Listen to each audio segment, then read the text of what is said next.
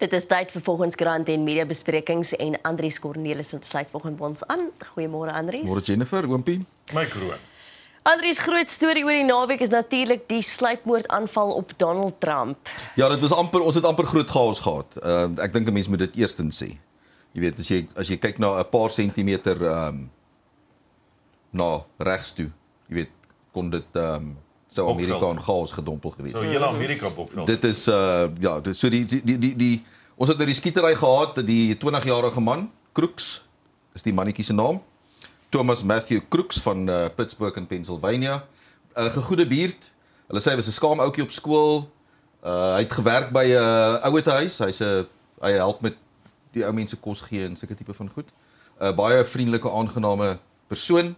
Uh, hy's geregistreer om vir die Republikeine te stem, maar hy het 'n klein donasie gemaak aan een of ander demokratiese gekoppelde organisasie. Sy ouers is nie eintlik verskriklik, maar hy was nog nooit baie polities of enige iets nie. En uh daar klim hy op 'n dak 130 140 meter van die president af, voormalige president af en uh skiet 'n klomp skote. Die een wat doodgeskiet is is 'n brandweerman, toevallig pa van twee dogters. En ehm um, uh, nog twee ernstig beseer, Donald Trump in die oor geskiet of deur die oor neem ek aan. Ehm um, weet so dis dis dis amper soos 'n Quentin, Quentin Tarantino rolprent, jy weet. Ja. Ehm ja. um, want dit gebeur lewendig op TV. Hier staan Trump en praat en dan begin die skote klap. Uh hulle die die die kroeks is basies jy weet die skerpskutters het hom onmiddellik uitgevat. Ehm um, maar die die die vraag is nou jy weet ek sien hulle die geheime diens ehm um, hy hy moet in die huis na die parlement toe ja. die Amerikaanse ewig nie van die parlement toe geroep hy moet voor 'n komitee kom getuig oor wat maar wat het hier gebeur. Jy weet hoe is dit moontlik dat 'n uh, sluipskutter bo op 'n dak kom ehm um, terwyl daar ander uit 'n skietlyn direk na die verhoog toe. En daar's ander sluipskutters ook op Daar's ander sluipskutters wat daar rond lê, jy weet dit is 'n raak te sien. Wel, maar presies. Jy weet en wel die ding is dit is nie net van die raak sien nie, dit was ook die ding van jy weet hy het ook die geleentheid gehad om 'n klompie skote te skiet. Mm. Jy weet dis nie dis nie sommer net vir jy weet jy ehm um, begine skiet nie. Hy moes aangelê het, daar was jy weet dit dit moes 'n redelike 'n beplanning gewees het oor presies wat hy gedoen het. So daar's baie baie vrae rondom die die die veiligheid rondom Trump. Hulle het blykbaar onlangs het hulle dit ehm um, verskerp. Ehm um, want jy weet ons is nou in aanloop na die Amerikaanse verkiesing toe. So uh maar daar's geen aanduiding, jy weet hulle praat ook van daar was 'n uh, plof toestelle in die voertuig wat hy gebruik het en by sy huis. Uh sy pa het die vuurwapen gekoop maar hulle probeer nog tot realiteit kom want daar's geen aanduiding, jy weet, hulle kyk na sy sosiale media en al daai tipe van goed en daar's nêrens enige iets wat enige rooi vla ehm um, vir enige iemand sou gewees het nie. Nou dis nog vroeg in die ondersoek, jy weet dit mm. dalk dalk is daar nog erns, maar weet ja. soos dit nou maar is, jy weet hulle het nou al gepraat met kinders wat saam met hom in die skool was en mense wat hom ken, mense wat in dieselfde straat bly as die familie en daar's geen jy weet dis nie dis nie iemand wat polities aktief was nie, weet hy's bietjie van 'n alleen mens, jy weet hy's nie ja, hy's introvert, jy weet dis hmm. nie so vreemd. Dis dis vreemd. Ek dink ek dink ook wat jy nou sien is jy weet soos wat Biden sê, daar daar die die die volume van politieke retoriek moet 'n bietjie ja, jy weet sagter gedraai word in Amerika.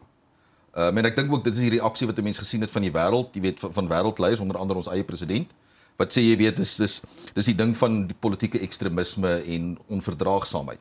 Nou die ding is mense sien nêrens in hierdie ouetjie se profiel onverdraagsaamheid. Wat was nou eintlik die motief hiervoor? Daar's nie 'n rooi vlag nie. Nee, daar's nie 'n duidelike hulle hulle praat van jy weet hy's moontlik geboelie op skool, jy weet dis van van die wat van die kinders wat saam met hom in die skool was, maar dit weet dat daar's daar's 'n groot verskil tussen om geboelie te wees en waar jy nou 'n vuurwapen hmm. en die beplanning doen om 'n voormalige president op 'n verhoog dood te skiet. Almal is op 'n stadium geboelie. Daar daar ja. en die ding die woord boelie deesdae word ook gebruik vir iemand wat wat onvriendelik met jou was en dan weet as jy as as iemand 'n bietjie onvriendelik met jou was dan is as jy nou geboelie. Dit ek daar's so 'n bietjie van 'n dis so 'n bietjie van 'n buzzword. Ja. Jy weet um, wat almal rondgooi wanneer hulle nou voel iemand het hulle nou te nagekom. Dit dis boelie is iets heeltemal anders. Maar in elk ja. geval hierdie is nou 'n 'n 'n situasie waar daar's nie eintlik 'n duidelike weet dis nie asof dit iemand is wat gekoppel word aan uh of dit nou dalk 'n of islam is of wat ook verstaan jy daar's nie daar's ja. geen duidelike motief vir waarom die 20-jarige hierdie sou die eerste presidentsverkiesing gewees het waarin hy kon gaan stem, jy weet. So as jy weet vir hoeveel hoe polities aktief moet jy dan nou wees? Is jy nou? Ja. ja. So uh, daar's nêrens is daar 'n aanduiding, jy weet. En kyk ons weet Trump die die die die woorde wat hulle gebruik, jy weet die Republikeine, ehm um, die die manier hoe hulle verwys na die demokrate, Weet dit daar is 'n 'n aggressiewe taal in die Amerikaanse politiek. Ehm um, en dit dit het al hoe erger geword want want dit dit is wat Trump en sy ondersteuners, jy weet, hy hy hou van daardie tipe mm. van. So jy het ook gesien, jy weet onmiddellik nadat hy bebloed, weet as hy face in die lug en fight, jy weet. Dis so uh, en ons weet ook wat in Amerika gebeur het na die verkiesing van Biden, jy weet, ehm um, met die die die geweld in in Washington op Capitol Hill, op ja. Capitol Hill. So jy weet dit is 'n uh, jy weet mense moet ook hier weet moet jy onthou you live by the sword you die by the sword. Ja. So uh, uh Trump gaan ook waarskynlik 'n bietjie die die retoriek um, en die manier hoe hulle met mekaar praat en oor mekaar praat, mm. gaan hulle ook dalk 'n bietjie moet uh, verander. weer bedink, ja. Ja, skokkend. Dan terug op tuisbone en my vraag is is nog 'n vletjie blaser afgemaai. Ja, ek sien die stad Johannesburg het gereageer en gesê maar hierdie is uh, dis nie wat hierdie man besig was om te ondersoek nie. Ehm um, en hulle sê dat hierdie berig, jy weet, uh, City Press het oorspronklik die berig. Ehm um, dit is ook uh, die rapport gepubliseer. Ehm um, hulle moet 'n regstelling doen want hulle sê dit is nie wat hierdie man mee besig was om te ondersoek nie. Nou waaroor dit gaan? Dis uh, Zenzele Sitole 55 jaar oud.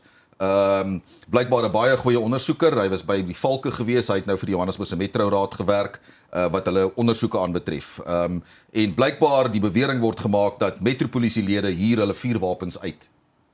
Onder andere aan transietrowers. Die goed staan in 'n kluis ergens. Die transietrowers het toegang tot die kluis. Hulle gaan haal die wapens, die R5 onder andere en dan gebruik hulle dit en sit hulle terug in die kluis saam met 'n paar note. Ehm um, ja, so basies gaan dit maar die stad Johannesburg sê dit is nie dis dis nie waar nie. Dit is vals. Dis nie wat hy mee besig was om om te ondersoek nie. Die ding is dis duidelik ehm um, jy weet daar's daar's nou as jy kyk na wat sy vrou in die berig sê, daar was iets ja. wat hom, jy weet, hy was ongemaklik oor iets. Ehm um, hy is bloot iemand het na sy voertuig toe geloop en hom doodgeskiet. Nou ons sien dit op 'n te gereelde basis. Jy weet ja. as jy nou dink aan die afgelope tyd, jy weet dis van 'n bylpark, jy, jy sien daai weet die motorfiets, die man wat op 'n motorfiets sommer net ja. twee mense dood. Dit dit 'n lewe is geweldig goedkoop klaar blyklik. Mense maai mekaar af en en helder oordag by 'n restaurant waar hulle gestaan het, verstaan jy? So, jy weet hierdie man was in sy voertuig, hy het gestop, jy weet en daar word hy doodgeskiet. On, ons het nou die afgelope ruk 'n hele klompie van daardie hierdie die ding van huurmoorde in Suid-Afrika is klaar blyklik dit is ook 'n mm. beroep. Ehm um, dalk moet die ontvanger begin 'n belasting hê op ehm um, huurmoordgeld. Die uh Uh Babita Deokaran het ons gesien. Uh, hierdie is 'n familiewoordvoerder wat hierdie sê en dit is wat dit dit is vir my die kern van hierdie. Ja. Wat sê as ons nie oppas nie gaan al die vletjie blaasers uitgewis word. Misdadigers het die land oorgeneem. En dit is dit is wat ons hier sien. Uh jy weet waar iemand sy werk gedoen het, verkeerde tone getrap het en dan is dit maar net jy weet um ons kry iemand en ons maai jou af dis so. Ja, eenvoudig soos dit. Ek dink want die artikel soos jy noem die vrou het gesê jy weet sy sy gedrag het verander. So sy ja. mag sy uit self seker gemaak hy gaan daai af en op by die werk. Sy ja. mag nie meer self sien toe gaan dit nie eendag het sy publieke vervoer gebruik en dit was verskriklik waar oor omdat sy publieke vervoer gebruik het. So duidelik was daar dan iets of Johannesburg se metro wie ook al dit sê daar dis nie reg nie. Daar moes iets gewees het vir sommige ja. anders sou sy vrou ook nie ewe skielik hierdie veranderende gedrag gesien het in hom nie. Hm. En ek smaklik om te gaan nee nee, hy was nie besig met so iets nie. Hy sê nou hier om vir ons te sê waarom hy besig was ja. nie. En hy was ook voorheen by die valke. Jy weet, so daar's 'n weet dit uit 'n geskiedenis van uh vyande maak wat ondersoek aan betref. En ek ek wil ook net sê weet ons is ons is geweldig vinnig om te kritiseer baie keer die polisie en die mense wat in hulle werk doen nie, maar dan kry jy sulke mense wat hulle ja. werk doen en hulle lewe verloor ook. Um, en mense wil ook net dankie sê vir die mense wat wel hulle werk doen elke liewe dag uh, teen jy weet geweld en misdadigers opstaan om te gaan. Weet jy wat, ek gaan nog steeds doen wat reg is. Wel die, die die probleem is dat die voorval soos hierdie, verstaan jy, die boodskap wat dit stuur, onthou dit gaan nie net oor hom nie, dit gaan oor die weier boodskap wat dit stuur jy weet van ehm uh, jy het gesien wat met hom gebeur het. Moenie ondersoek nie. Ja.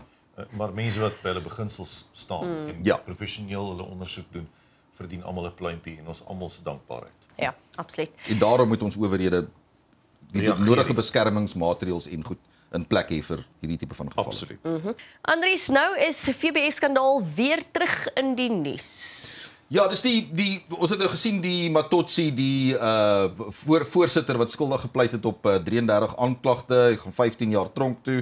Ek dink dit die syfer wat hulle uh, kyk omdat alles saamloop, ek dink dit was iets soos 495 jaar. Jaar wat hy sou Maar ja, ja, hy gaan nou 15 jaar tronk toe. Maar die ding is dat wat toe nou gebeur het is hy het uh, as deel van die pleitooreenkoms het hy 'n redelike uitgebreide beëdigde verklaring afgelê oor waar's geldjies heen. Wie is betaal? Wie is betaal, weet wat gekry toe lek die dokument nou uit. Die die, die nasionale vervolgingsgesag was baie kwaad geweest oor hierdie dokument wat uitgelek het. Ek dink daar was 'n baie goeie rede hoekom dit uitgelek is want hulle was bekommerd. Ergens was iemand bekommerd dit word toegesmeer. Mm. So uh, um, hulle wou die dokument daar buite hê. Dat niemand kan sê maar uh, waar kom hierdie inligting vandaan of wat ook al dat hierdie dokument word so diep weggeberre dat niemand dit ooit weer sien nie. So ek dink dit is die rede waar waaroor dit uitgelek is dat ons nou weet ons wat in hierdie beëdigde verklaring staan. Onder andere daarin was uh, miljoene wat betaal is aan die broer van uh Floyd Chivambu, sy broer Brian via so 'n maatskappy um en dan is dit nou gekanaliseer na onder andere Floyd en Julius Malema toe. Daar's 'n hele klomp organisasies wat daarop gereageer het. Weet AfriForum het gesê hulle gaan uh klagte opstel en by die polisie indien. Um en as daar nie vervolgings is nie, dan sal hulle bereid om vir Gerry Nel dat ons privaat vervolg. Ek moet sê dit sal ek nogal um dit dit gaan dit sal 'n mens nogal geniet as Gerry Nel die aanklaer is in 'n saak waarin Floyd Chiwambo en Julius Malema die beskuldigdes is. Dit behoort nogal um, vir goeie TV te sorg. Maar die uh, ons gaan nou moet wag en kyk waar want hierdie is nou in die hande van die nasionale vervolgingsgesag. Ek dink ook ek dink ook wat 'n mens hierin moet sien is is is waarskynlik die rede waarom die ANC so ver van die EFF probeer wegbly as moontlik. Ehm um, ek dink baie van hierdie inligting loop al vir 'n geruime tyd rond. Ehm um, van wie dit waar ek dink ook uh, jy weet ook onthou dat uh, Willem Kiese word ook genoem ja, van die ANC. Mm. Ehm um, dat daar ook geld daar na die party toe gekanaliseer is. Nou nie naaste by die bedrae as mense kyk wat genoem word uh, as wat gekanaliseer is na uh, Malema en Chivambu toe nie. Onder andere daaroor gegaan. Hulle het skerp kritiek uitgespreek oor Jacob Zuma, die feit dat die bank vir hom 'n verband gegee het. Ehm um, onthou die nee, hele payback the money ja, onthou die, hele payback. Jacob Zuma die lening gegee het. Dis die bank wat vir Zuma die mm -hmm. die die, Kantla lening gegee het. Ehm um, en hulle het baie skerp kritiek daaroor uitgespreek en blykbaar was die betaling hulle het in 'n penthouse erns ontmoet baie jy weet luxe uh vergaderplek en uh, daar is die ooreenkoms gemaak. Ehm um, en duidelik die doel daarvan was nooit dat hierdie 'n skenking aan 'n politieke party of een of ander iets is nie. Hierdie betaling is gedoen aan 'n maatskappy wat van van uh, Shivambu se boetie en van daar af is die geld nou geherkanaliseer na allerlei plekke toe.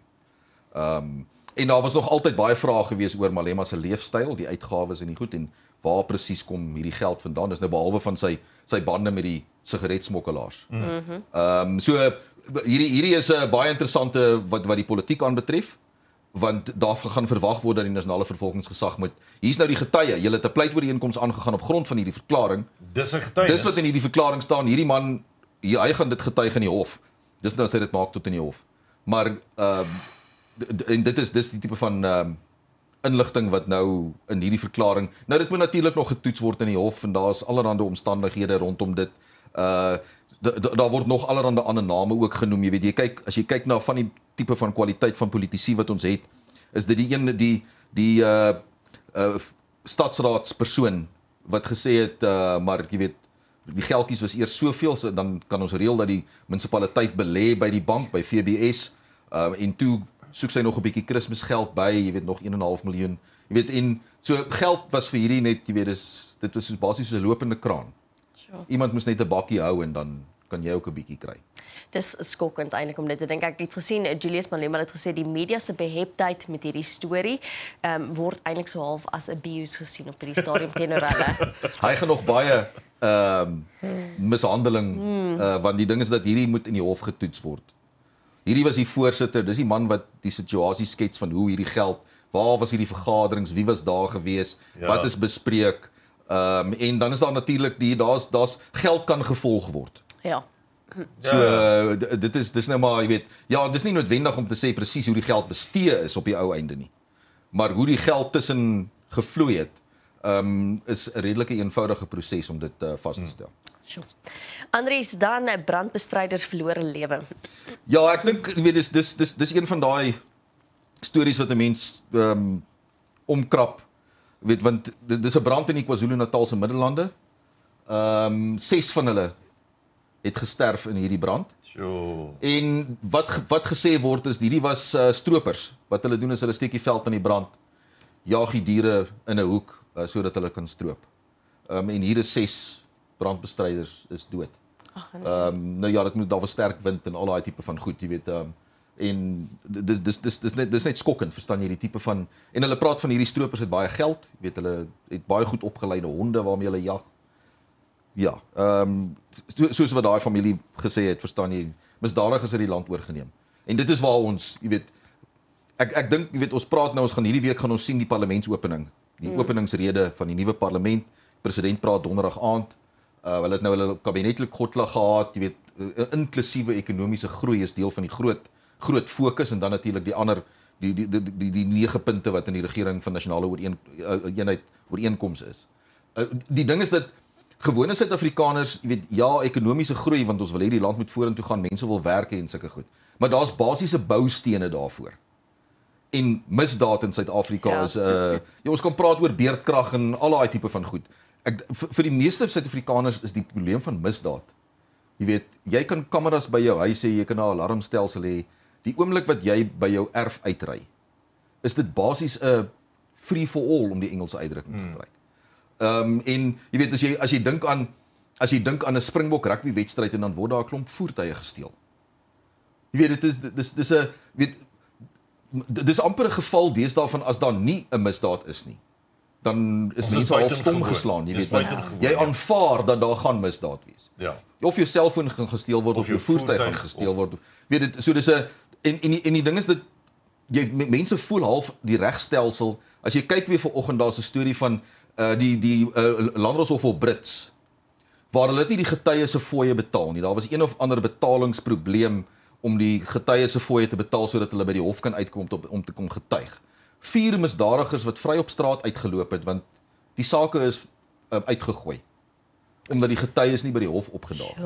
Ja. Jy weet nou ons praat van diefstal en dwelmbesit en huisbraak en sulke die probleem is dit as ons nie begin om van maak nie saak wat die misdaad is nie. As ons nie begin om daai goed vas te vat nie. Ja. Dan um, kan ons vergeet van inklusiewe ekonomie. Jy kan baie mooi broodjies bak oor ekonomiese groei en al daai goed. Gewone mense leef in vrees. Mm. As jy kyk na die ontvoerings, kyk na hierdie sluipmoorde tipe van mm. goed. Verstaan jy dit is en en en mense moet kinders in hierdie land grootmaak en jy ek weet nie vir, vir my is daar basiese elemente wat in plek moet wees en en ek verwag dat die president donderdag aand minstens um jy weet dat ons ons gaan begin om aksie te sien. Ja. Absoluut. Andries, eh, kom ons spring gaan na die handgranaat ysmajoor, maar was dit moord? Uh ja, dit, dit hierdie is meer skokkend as enigiets anderster. Jy weet as as 'n mens kyk na jy weet nuusberigte dan dink jy maar hoe hoe is dit moontlik dat ons in hierdie stadium dat daar vermoede is dat sy eie soldate hom doodgemaak het? Want dit is wat hier gesê word. Ehm um, die saak wat ondersoek word soos wat hulle sê die Verenigde Nasies het die uh, die dossier is uh, geklassifiseer as dood waarskynlik moord. Want die ding is as hy, hy dis 'n granaat wat binne in sy tent ontplof het. Nou daar's die, die rapport se berig verduidelik, jy weet presies die veiligheidsmeganismes rondom hierdie handgranate. Jy weet dis nie dis nie dis nie asof iemand per ongeluk Jy weet, dis nie dis nie 'n ongeluk nie, jy weet hy dit hulle die die as 'n mens lees tussen die lyne dan is die vermoede dat uh sy eie troepe wat oor hom gekla het want hy het dissipline gehandhaaf want dit is die weermag. Hierdie is nie 'n kleuterskool uitstappie nie. Ja. Hierdie is die weermag. Jy is ontplooi in 'n ander land. Jou lewe hang van daai dissipline af in baie gevalle. Ehm um, en ja. Uh weet Tolla Pieters is 47 jaar oud. Hy was 'n soldaat van beroep dit is wat hy gedoen het. Jy weet hy's ou skool, militêre dissipline. Uh en hulle het gekla oor ehm um, beweerde rasisme want die ding is dat dis een van die probleme in Suid-Afrika wanneer wanneer mense van 'n sekere velkleur dissipline toepas op en daar's ander mense wat nie dieselfde lyk nie, dan is dit rasisme. En dit is dit het niks met rasisme te doen nie. Dit het te doen met daar is daar's 'n struktuur, daar's 'n stelsel, daar's 'n hiërargie. As jy nie hou van die stelsel of die hiërargie nie, dan moet jy goed vat en loop, want dan hoort jy nie daar nie. Ja. Weet die weermag en dissipline is 'n bepaalde ding. Ja. Ehm um, jy weet so uh en dan jy weet hy hulle hulle hulle het nie van hom gehou nie. Maar die ding is jy weet plant jy 'n handgranaat in iemand se tent as jy nie van hom hou nie. So. Weet so hier's baie vrae hier. Ehm um, in in in hierdie storie en uh ek hoop ons uh, nasionale weermag minstens die goeie ding hier is ook dat die VN want hulle is die weet hulle is ontplooi as deel van die VN ja. magte. So hierdie ding word ondersoek op 'n ander vlak as net bloot die ja, Suid-Afrikaanse ja, nasionale weermag. Ja. Andries, ons het so 50 sekondes oor. Kom ons praat oor kuns. Ja, luister, hierdie ding hierdie ding het vir my uh, uh, uh, natuurlik gaan die rekenaar nou glad nie met my saamwerk nie. En uh nou moet ek hom gou soek. Daar's dit. Kyk hoe mooi is daai. Ja, wat wat vir my opgeval het, jy sê jy sal sien, hierdie is uh Cristiano Ronaldo hier aan die linkerkant onder. Jo. En en wat, die man doen is hy hy hy hy het al van kleinstyd af wou hy teken. En soos dit nou maar gaan, verstaan jy, sy, sy hulle basies het hy op toiletpapier begin. Sneespapier. Nou jy weet hoe moeilik is dit om te teken op 'n um, ja. op 'n tissue of op 'n Hy goed vir jou af. Ja, nee, jy skeer dit die hele tyd.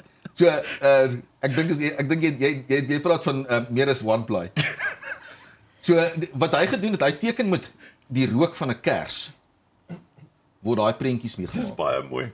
Baie mooi. Ek dink dis weet jy wat, baie mense maak verskonings van ek het nie hierdie nie, ek nie daai nie, dis kom ek agterbly in die lewe en so aan en hier's 'n jong man wat niks anders het nie en hy gebruik wat hy het Ja. om om sy talent uit te lewe. Ek dink dis fantasties. Slagswayo. Ja, Ek dink dis baie uh, innoverend. van Davidton aan die Oosrand. Hy teken met kersrook.